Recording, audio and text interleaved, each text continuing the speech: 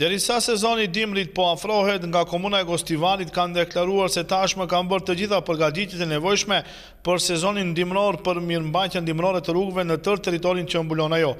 Kryetari Nevzat Bejta thotë se tenderi ka qenë i hapur në kohë dhe se është përzgjedhur kompania e cila do mirëmbajë rrugët gjatë dimrit. Bejta shtoi më tej se Komuna e Gostivarit nuk do të lejojë, që sivjet të përsëritet viti i kaluar, në kuptim të pastrimit të rrugëve nga bora, ndaj edhe potencon, se Komuna e Gostivarit i ka filluar përgatitjet shumë herët dhe ka marrë të gjitha masat, që gjatë këtij dimri mirëmbajtja dhe pastrimi i rrugëve nga dëbora të jetë sipas standardeve të kërkuara. Na kemi përvojë të mirë,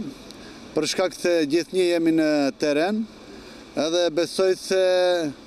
në këtë periudhë, në dimrin që na vjen, jemi të pregatitur për shkak se me kohë është zgjedhur kompania, edhe ajo kompani e cila e ka marrun, do bënë takim, do ta ndajmë qytetin në zona, me gjitha, vendbanime në qytetin e Gostivarit duke i përfshirë edhe fshatrat edhe besoj se edhe qytetarët do kenë pak mirëkuptim gjatë periudhës dimërore që mos t'i nxjerrin veturët vend e pa vend, domethënë vetëm kur kanë nevojë që kur bie borë na të kemi mundësi që ta pastrojmë borën. Kemi bërë incizimet Që si t'i tejkalojmë vështërsitë që kemi pasur vitin e shkuar dhe këtë vit besoj se nuk do kemi problem se parapregatitjet i kemi bërë, kompania e cila e ka marrun punën është e pregatitur edhe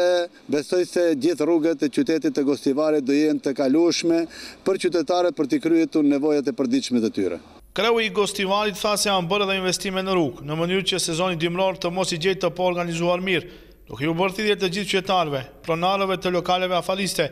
që të marrin të gjitha masat për pastrimin e pjesëve të hapësirave, trotuareve afër shtëpive, lokaleve të tyre, Sepse për një gjë të tillë, ata i obligojnë edhe ligjet dhe rregulloret në fuqi.